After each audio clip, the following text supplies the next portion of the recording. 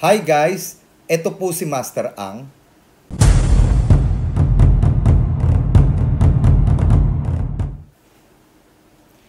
Guys, today pag-uusapan natin ano ang totoong lucky charm na maaaring magbigay sa inyo ng swerte. Pero bago ang lahat,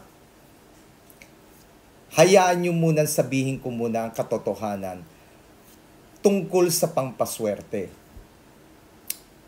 Marami sa mga tao gusto natin maging maswerte, pero kung minsan hindi natin napapansin na tayo din ang dahilan kung bakit tayo hindi sinuswerte sa buhay. Kasi marami sa mga tao, ang pinaka unang solusyon sa kanila para sila ay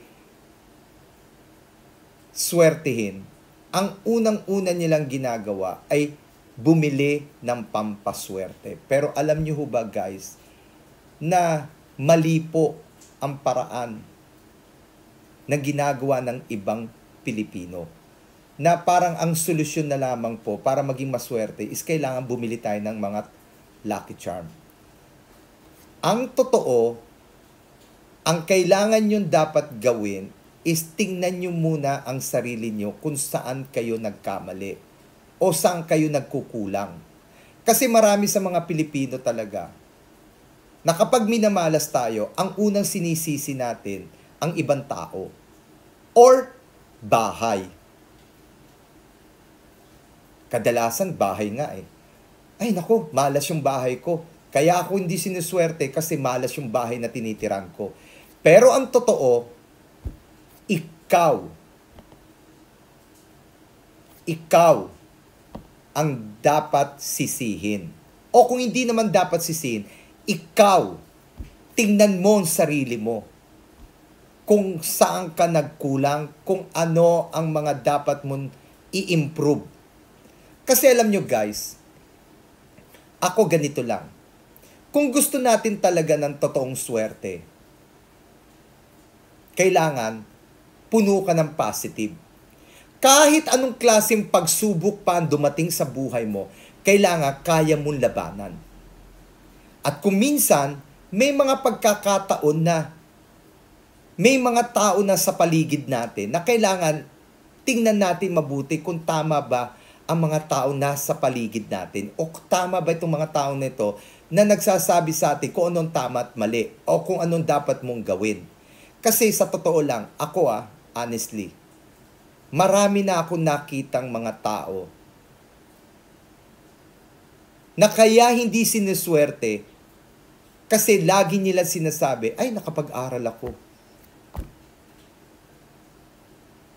Kaya dapat lang magkaroon ako ng trabaho. O di kaya masipag ako. Pero sinasabi lang natin na masipag tayo. Pero sa salita. Pero wala sa gawa. Doon, yun ang nakikita kong problema. Kung minsan, wag natin dinadaan puro sa salita. Kailangan, tingnan din natin kung lahat ba ng sinasabi mo ay nagagawa mo.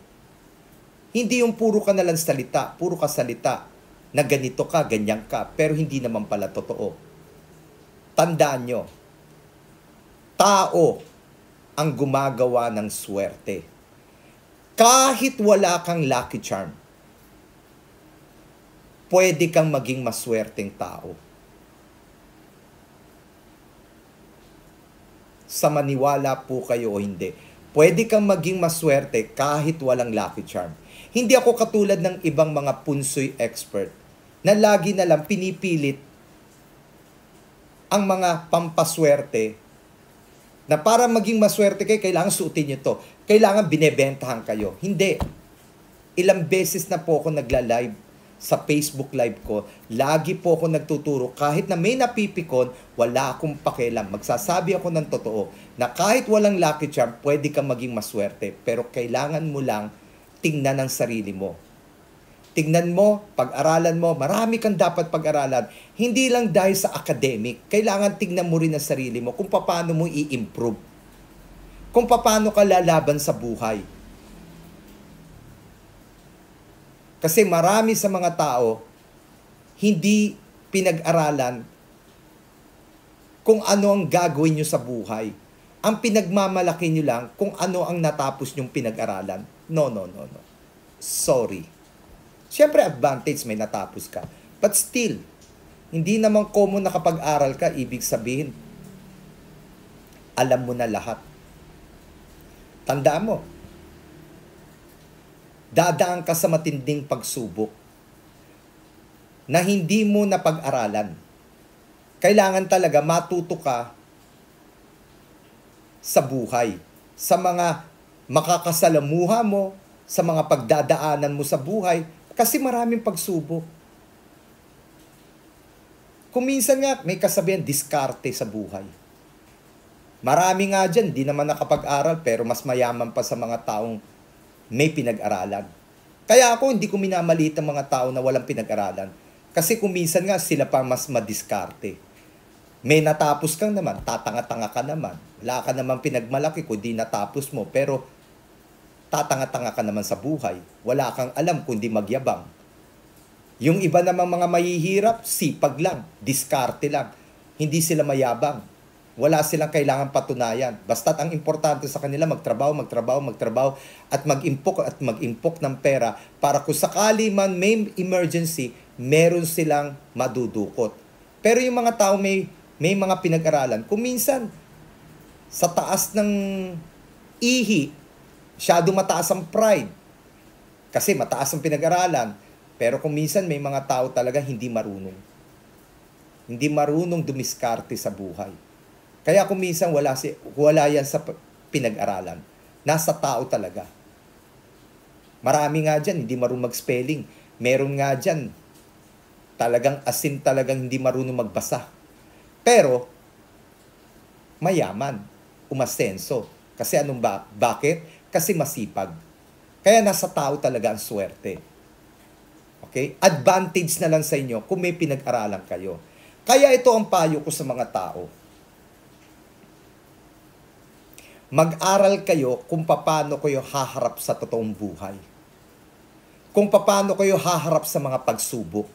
Yan ang dapat yung pag-aralan at alisin nyo yung negative, yung mga, let's say, humaharap ka sa mga problema tapos pa-depress-depress ka. Alam ko sakit ang depress. Dapat nga, hindi natin masyado minamalit yung mga tao na dumadaan sa ganyan. Pero kuminsan talaga, totoo ang kasabihan, na kahit na nadidepress ka, kung matalino ka, nilalabanan mo. Kasi tao naman talaga lalaban sa mga kung anong klaseng negative eh. Ako, dumaan din ako sa depression. Dumaan din ako sa mga pinagdaanan nyo. Pero ako, honestly, puno ako ng positive. Para sa akin, walang depressed-depressed sa akin. Kahit ano pang dumaan na pagsubok sa akin, lalabanan ko yan. Kasi ako ang gagawa ng sarili kong swerte. Hindi ko sasayangin ang araw, hindi ko sasayangin ang binigay ng Diyos sa akin na buhay dahil alam ko naman eh, mula nung isinilang ako sa mundong to, alam kong haharap ako sa matinding problema. Kaya dapat lang labanan ko. At kailangan talaga buong tapang kong haharapin lahat ng klase ng pagsubok. At ang gagawin ko lang sa buhay is maging masipag at madiskarte sa buhay. At higit sa lahat, hihingi ako ng tulong sa Diyos, pero sabi nga, nasa tao ang gawa, nasa Diyos ang awa. So, kailangan kikilos ako. Kikilos ako, magtatrabaho ako, at matututo ko kung paano humawak ng pera. Okay na na may pampaswerte ako. Pero siyempre, iba pa rin yung ginagamit kong utak ko. Ginagamit ko yung talino ko. Kasi alam kong haharap ako sa matinding problema. Kuminsan dyan tayo bumabaksak eh. Dyan tayo mahina sa mga problemang dumarating. Kaya kailangan lumaban tayo sa buhay. Kaya ang payo ko sa lahat ng mga tao, huwag tayong susuko sa buhay. Kumilos ka hanggang maaga. Kung, kung gusto mo ng pampaswerte, simulan mo sa sarili mo. Tulungan mo ang sarili mo. Walang ibang tutulong sa iyo. Huwag kang umasa sa ibang tao kahit na marami pang mga tao na nagmamahal sa iyo, o marami kang mga taong, o sabihin na natin kaibigan, na nandyan sa, nandyan sa tabi mo. Pero kung ayaw mong tulungan ng sarili mo, wala ring kwenta. Ikaw pa rin ang gagawa ng swerte. So, yan ang pinapayo ko sa tao. Lumaban sa buhay hanggang maaari. Huwag sumuko. Okay? Ngayon, marami nagtatanong, ano ba ang pampaswerte pwede kong isuot na para mawala ang mga negative sa katawan ko? Na kung minsan, masipag naman ako, lahat ginagawa ko naman, nag-iipon naman ako ng pera, pero bakit ganun? Parang parati akong minamalas, parating may something, pero lahat ginawa ko na. Okay, naintindihan ko. Talagang maraming mga taong ganun na talagang bakit ganun? Bakit ganun? Bakit mailap ang swerte? Bakit lagi akong bakit lagi akong uh, nawawala ng pera? Bakit lagi akong may problema? Matapang naman ako. Madiskarte naman ako. Pero bakit parang may negative? Naiintindihan ko kayo. Naiintindihan ko kayo. So ngayon, magbibigay ako ng tamang lucky charm na maaari niyong isuot. At ito naman, hindi ko naman pinipilit ito na paniwalaan nyo. Nasa sa inyo na po ako po isang tunay na punsoy expert. Pinag-aralan ko po kung anong mga pampaswerte na makakatulong sa inyo para maalis, maalis ang tinatawag natin na malas na, na, na meron sa katawan mo. Kasi totoo po may malas. Totoo po. Kahit ayaw natin aminin talaga may nangyayari po talaga na may negative. Yung bang madaling mag-attract ng mga malas ngayon, ito ang ituturo ko. Okay? Ito po. Okay? Ito po ay gawa ko po at pinag-isipan ko. Isa po akong tunay na punsoy expert at sisiguraduhin ko na may dahilan kung bakit ito ang pinapayo ko suotin ninyo. Ito ang tinatawag natin na malawood. Hindi po siya drug. Katulad na itong klaseng malawood na binababad ko yung mga lucky charms sa malawood. Ito po, kinulayan ng green ito po ay totoong malawod. Ngayon, ano ang maitutulong nitong malawod nito sa katawan nyo? Pag ito ay sinuot ninyo, ang intensyon nito, alisin lahat ng kung anong meron sa katawan mo. Lahat. Kumbaga sa ano, parang cotton. Pag inilagay mo yan sa tubig, sisipsipin yan tubig. Ganon din po ang malawod na merong kasamang mantra ngayon, ang intention nito, sipsipin lahat ng kung anong meron negative sa katawan mo. Aalisin niya. Para dito, dito sa wood nito, sisingaw. Sisingaw. Para lahat ng kung anong meron sa katawan mo, mawala lahat ng negative. At itong mantra nito, okay, para siyang prayer. Prayer na makakatulong sa iyo para mag-attract ng swerte. So, nandito na po. Okay? So ang malawod, ang intention niya, alisin lahat para siyang cotton na pag nilagay mo sa tubig, sisipsipin niya yung tubig. Ito naman ang intention ng malawod, pag sinuot niyo sa bracelet, let's say for example, sinuot ko. At ito na po, suot ko. Ang intention niya, sipsipin niya lahat ng kung ano meron sa katawan ko at ilalabas niya sisingaw. So, malaki may tutulong nitong malawod nito sa katawan ko. At may ganito po klasing malawod din po. Medyo may kamahalan to. Ito po ay mura lamang. Okay? So sa lahat ng mga tao na gustong mawala lahat ng mga malas na meron sa katawan nyo, na totoo naman talaga meron talagang minamalas. Ito po, Malawood na may mantra. Ako po ang gumawa nito at sisiguraduhin ko, magtiwala po kayo sa akin. Hindi po ako nagbibiro. Totoong makakatulong po to. Sa lahat ng mga gustong umorder nito, pwede po kayong tumawag sa 0917 326 3777. Tumawag po kayo doon, hanapin nyo si Jasmine, at umorder po kayo kung gusto nyo lang po. Pero tulad ng sinabi ko, ang pampaswerte, kasi lagi ko po sinasabi, ang totoong pampaswerte ay para sa mga tao na may gusto sa buhay. Para sa mga tao masisipag. Hindi para to sa mga sugal. Kung bibili rin naman kayo at gagamitin nyo sa sugal, utang na loob, wag na po kayong bumili sa akin. Kasi hindi po ako naniniwala na merong pampaswerte sa sugal. Wala po. Kaya lang marami po sa mga Lucky Charm Store, nagtitinda ng mga pampaswerte daw sa sugal. Excuse me, wala pong totoong pampaswerte sa sugal. Pag sinabi mo sugal, malas na yan. At ang Lucky Charm, hindi dinadala po sa mga sugal-sugal. Kahit na yung pagtaya ng loto, kung ikaw ay tumataya ng loto, I suggest huwag ka magsuot nito. Huwag mong sayangin ang pera mo sa mga walang kwentang bagay. Para to sa mga taong masisipag. Kaya uulitin ko, sa lahat ng mga gustong kumuha nito, pwede po kayong umorder sa 0917 326 3777 at sisiguraduhin ko, malaki ang may tutulong nito sa katawan ninyo. Kung sakali man magbago ang kulay nito, etong malawod nito, nagbabago ang kulay, nagiging dark, magagamit nyo pa rin. At ito po ay lifetime warranty. Kapag napatid, dalhin nyo sa akin, aayusin ko libre. Wala pong bayad.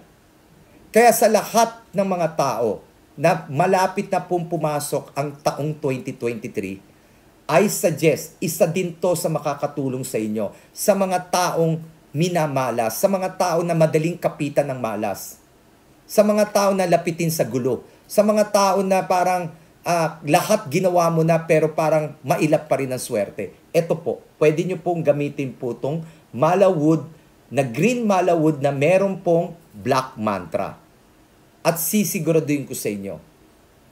Effective kasi pinaghirapan ko at ito ay niritual. Binabad din po dito sa malawood powder at ininsenso. Ininsenso, maraming klaseng insenso. At bukod doon, dumaan sa matinding singing bowl. Malakas po itong singing bowl nito. Okay? So ako po, pinaghirapan kong iritual to. Pero tulad ng sinabi ko, hindi ko po pinipilit to sa inyo. Kung ayaw nyo po, okay lang. At sa mga hindi naniniwala, nire-respeto ko kayo. Sabi ko nga eh, kahit walang lucky charm, pwede ka maging maswerte. Pero siyempre, may mga tao na gustong magsuot, binibigay ko po sa inyo etong lucky charm nito. Malawood na, green malawood na may mantra black.